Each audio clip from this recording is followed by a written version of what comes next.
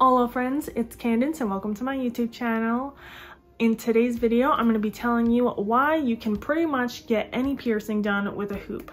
Now, this isn't really in regards to like surface piercings and stuff. Obviously, it would have to be a piercing that has like a front and a back or a hoop is even feasible in the first place, right? Now, before I get started, don't forget to like, share, and subscribe.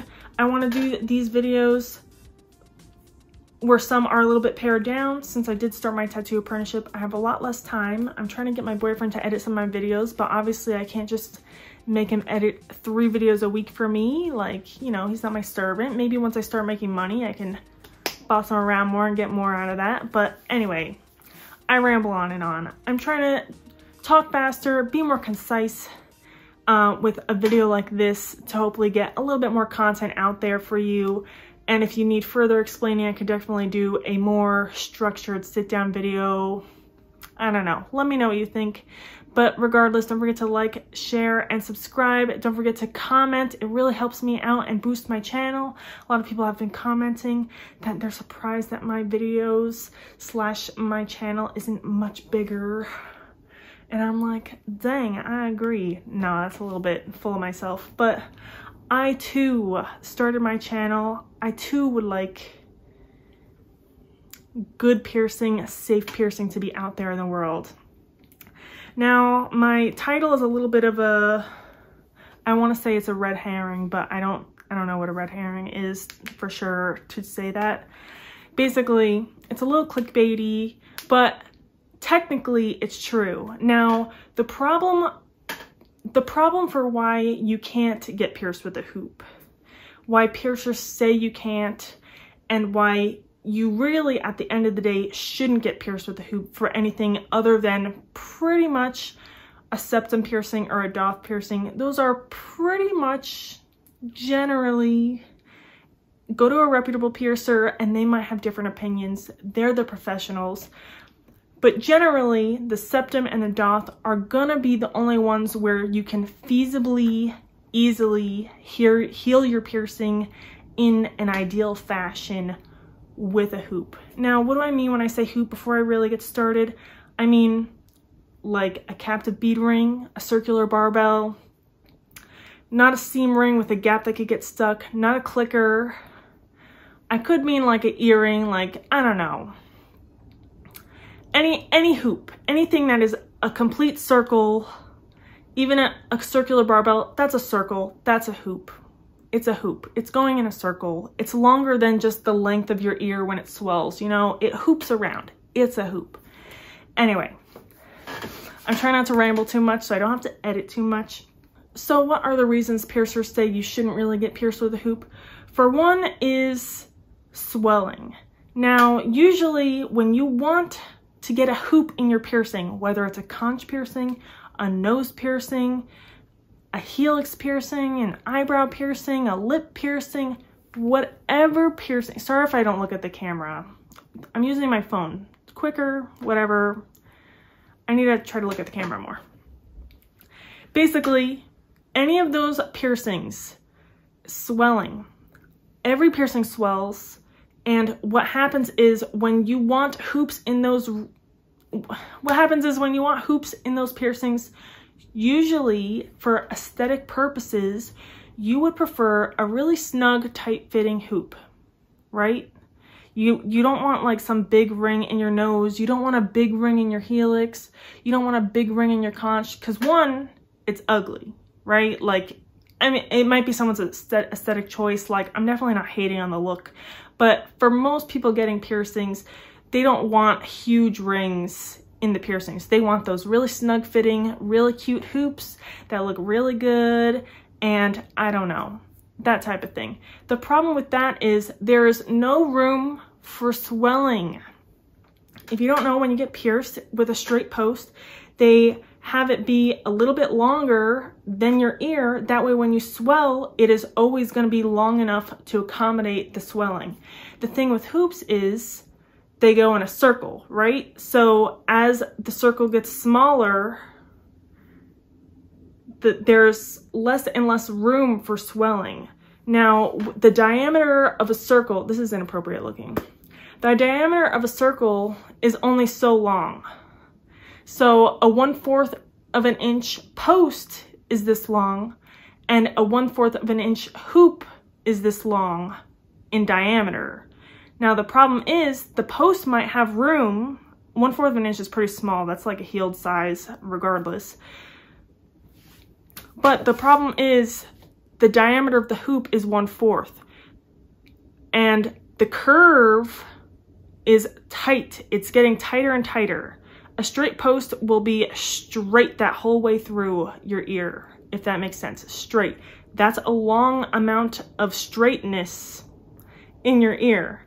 But if it's a hoop that long, that is a very dramatic and tight curve that if your ear can only fit, like if your ear is only a one fourth of an inch thick and you're already trying to put a one fourth of an inch hoop in your ear, there is a lot of pressure happening. It doesn't fit. And then it'll swell up and then your ear will grow over the sides or your nose or your lip and it'll cause problems. And then what happens is the hoop will be too tight and then your ear will swell up and then the ring won't change size as your ear changes size or your lip or your nose. You know what I mean. And that will cause migration and that will cause issues with your piercing in terms of keeping it at all. Because once migration or like any sort of thing happens to your piercing that affects the angle and basically the aesthetic of the piercing, you're not going to want to keep it in because say it's a lip piercing, it could hit your teeth. It could be like way high up in your lip line. Say it's your eyebrow, now it's like pushing against the skin, way more likely to reg regret, to reject. Nose piercing, same thing. You'll get a huge bump and it'll pull. It'll cause it'll cause cut marks, you know, like it'll cause like divots, big dents. It'll cause a really weird shape to your ear piercing.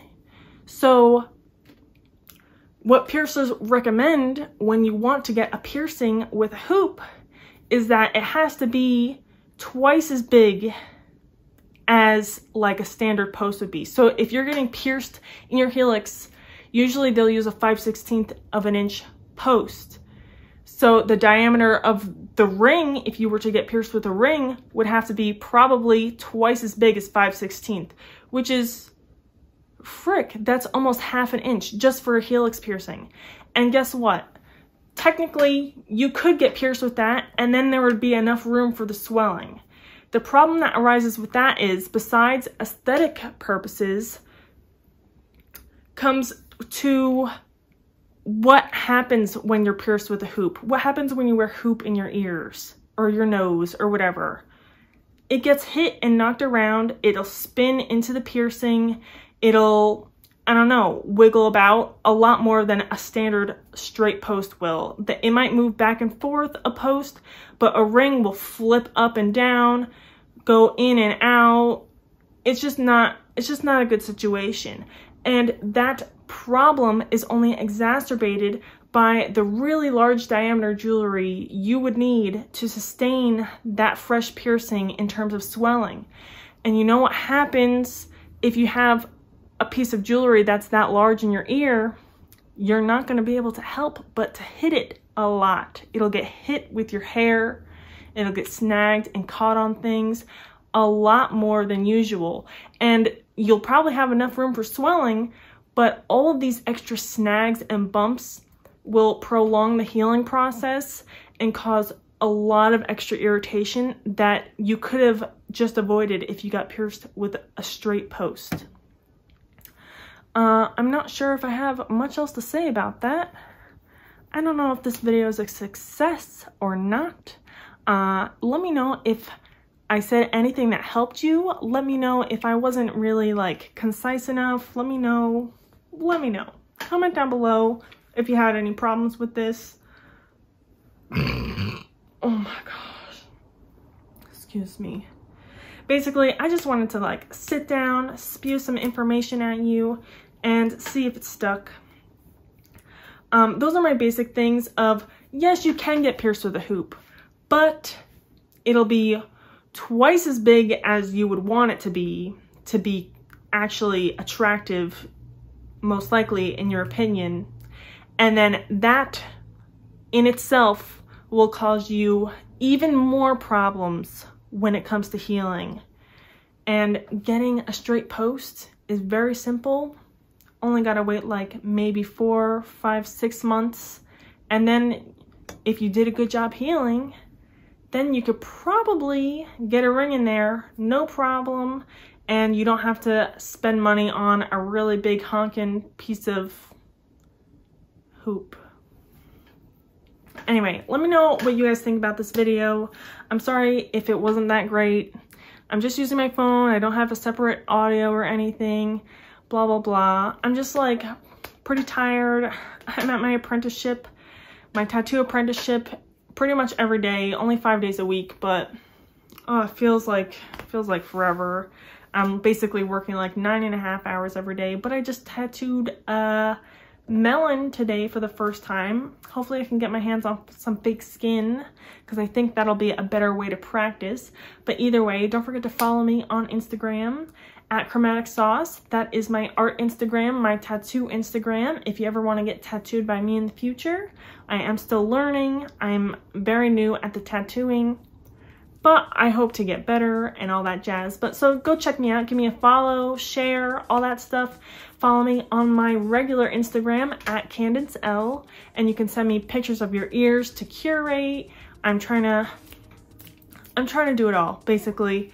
Uh, and I definitely do still plan on making more edited content. I just don't have as much time, and I'm like, maybe if this is good enough for all y'all's, that would be a win-win for all of us because then I can make more videos this way, also have my better quality videos maybe, and just keep the videos coming, keep the videos coming. There's just so many ideas in my head and I don't have time for any of them. Anyway, thank you guys so much for watching this video. I love you. See you in the next one. Bye. If you're wondering, I probably picked my nails a couple times if I truly didn't edit this. Yo, I ran out of top coat for my nails and the one I have is like so dry. So it looks like I've been hot gluing things to my fingers all day and I just have little strings of nail polish. So that's a fun time.